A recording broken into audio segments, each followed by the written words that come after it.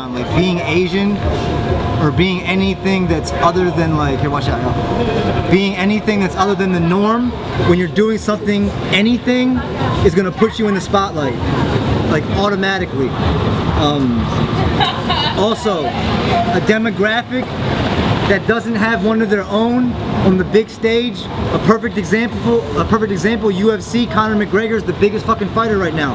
Why? Because all the people in Ireland see him and say, that's us right there, you feel me?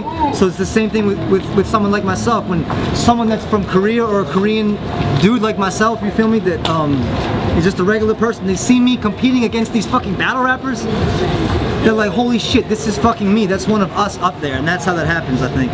So when you're doing something, anything that's creative or sports, competition, if you're different, that's just gonna stand out and it definitely helps you more than it hinders you. You might have some, some like negative people that will try to downplay you or even make fun of you because you're different, but they don't even matter because they just don't fucking matter, man. Like, I don't, you don't know how many times I've gotten joned on or something from people that purely are looking at me and seeing something that's different, and they can't even help.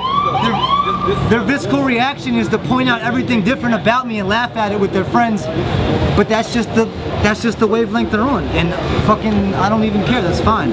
I wish you the best. Keep on going. But for people like me that are on the same wavelength and like-minded people that are in this creative process and in this creative community, I feel like they don't even care. So in that aspect, right, what you said, like if you're dope, you're dope. But it definitely helps if you got something different about it. Definitely.